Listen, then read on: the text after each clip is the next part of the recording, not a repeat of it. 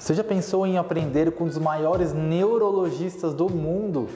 Confira o nosso cronograma do terceiro Congresso Internacional da Fisiocarpet. Teremos a presença do Dr. Ronaldo Casimiro da Costa, professor da Faculdade de Ohio dos Estados Unidos, escritor dos principais livros de neurologia do mundo. Ele falará sete palestras extremamente importantes: síndrome da caldequina, mielopatia degenerativa, hérnias discais, doenças neuromusculares e muitas outras. Entre no nosso site e se inscreva agora mesmo.